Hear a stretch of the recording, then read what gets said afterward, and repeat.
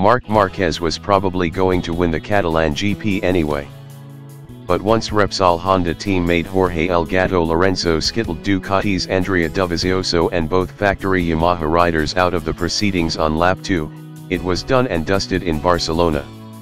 The Catalans lead in the World Championship balloon from 12 to 37 points. Valencia is groaning, joined by most of the rest of the motorcycle racing world. Here we go again. After the lap 2 histrionics, an exhausting battle for second place developed, won by insolent French rookie heartthrob Fabio Quartararo, who, starting from pole, edged Ducati veteran Danilo Petrucci for the honor of his first Premier Class podium.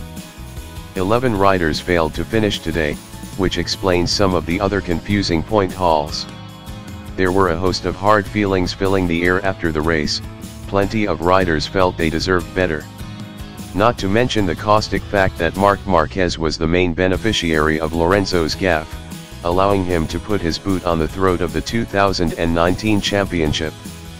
Ain't nobody need that. The race.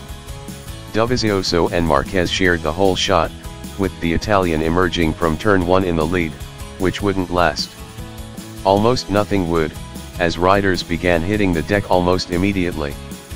Bradley Smith, guest crashing for Aprilia and his victim Karel Abraham, boom. Lorenzo and victims Dovizioso, Viñales, and Rossi, boom. Aleix Espargaro, Hafizh Syahrin, boom. Pecco Bagnaia, boom. Franco Morbidelli, boom. And, not to be outdone, having just moved past Jack Miller into P4, Cal Crutchlow, boom. Cal's analyst says it's poppycock to suggest he's afraid of success.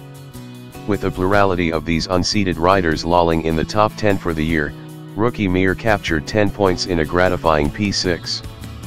Pol Espargaro snagged 9 points for the desperate KTM project. Nakagami, Tito Rabat, and the Moros Johann Zarco closed out the top 10. Mir and Zarco both had their best day of the season, by default.